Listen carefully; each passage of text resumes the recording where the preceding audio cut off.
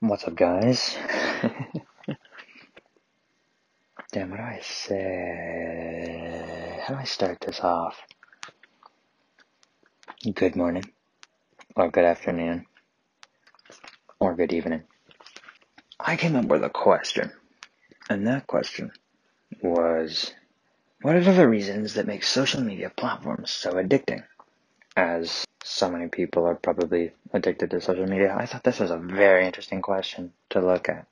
So, I decided to do some research on said question. And when I was researching, I split my research into two topics. And one, how social media is addicting mentally, and how social media is addicting in its like mechanics, how they made it so that you would be addicted to it. I'll start by explaining how you are affected by social media mentally.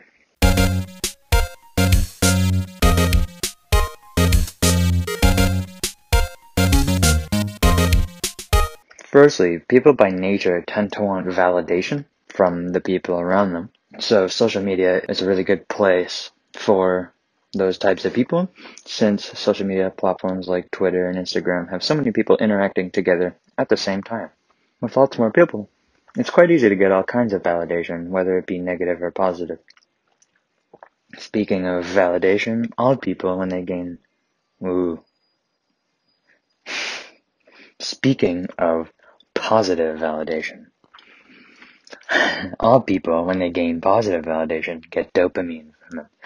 Dopamine is the hormone that lets you know what is good or interesting, which means every time you get positive validation, you see, or you see something you liked on social media, your brain will be like, yes, yes, this is a good thing.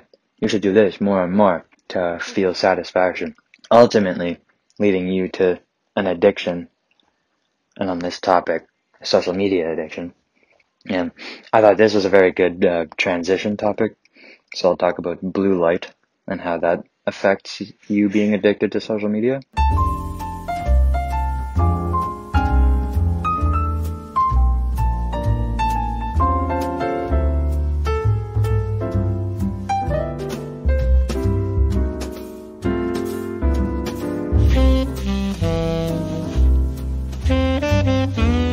Blue light is the thing that most electronics emit from their screens. Blue light can be harmful to your eyes, however it is quite strange since blue light is also very necessary for daylight activities.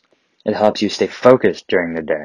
Although, during the night, exposure to blue light will mess up the circadian rhythm which tells you when it's night and day, making you stay up later than you should, or to not get any sleep at all.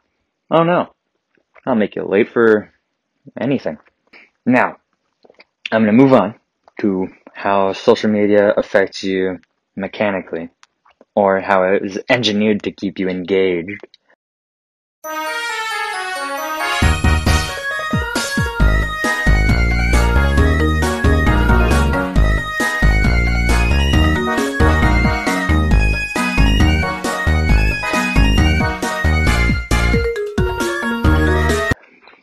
Social media platforms like Facebook and Instagram both measure your in- interaction, yes, with the post and how long you spend on the post. Social media is so addicting because there's so much content on every single one of the platforms that it makes it impossible to run out of things to see and or watch. Algorithms are a useful and crafty way that social media can suck you into its world. I'll talk about two media platforms that are Instagram and YouTube. The Instagram algorithm works in three parts. Relevance, recency, and resonance. How important is the post to the user? Relevance. How long ago is the post made? Recency. And how relatable the post is? Resonance. YouTube's algorithm works by search topic, which means if you search for or watch a video under the gaming topic, for example, your recommended tab will be filled with videos on that topic and your know, like autoplay thing will come up with gaming videos. And to see how addicted I was and am to social media, I decided to use everybody's favorite application that came out in a couple updates ago on iOS, and every other phone basically, is screen time, which basically tells you how long you've been on it for averages, right? So I took three weekly averages on my computer and I took them from the weeks December 28th to January 2nd, January 4th to January 10th, January 11th to January 17th. And it drastically increased at in January from the end of last year.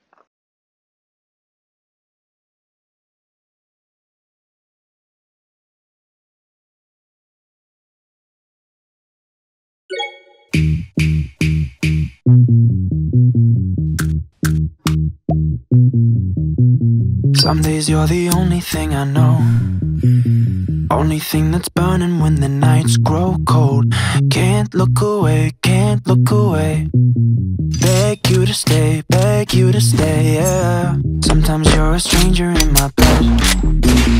Don't know if you love me or you want me dead. Push me away, push me away. Then beg me to stay, beg me to stay, yeah.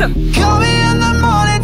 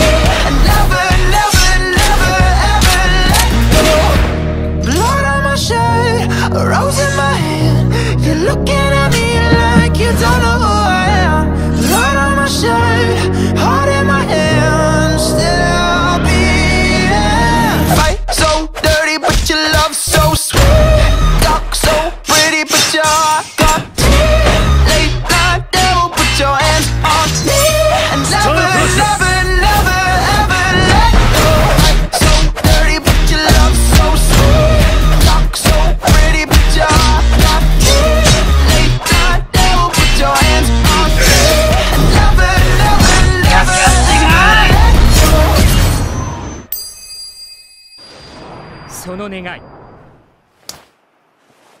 この宿が確かに聞き届けた Well, I'm practically done here. I said everything that I researched on the topic and question what are the reasons that make media platforms such an addictive place. Well, not sure if you even watched to the end of this or if you cared or learned anything new. I did. And how do I end this? Does anybody know? It's quite tricky to end a video.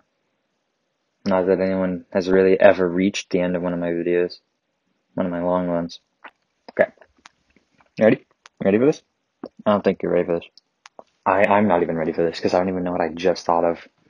Well, I'm not sure that you learned anything, but I know that I learned quite a lot of information on what makes social media the best at keeping you coming back to it over and over and over and over and over.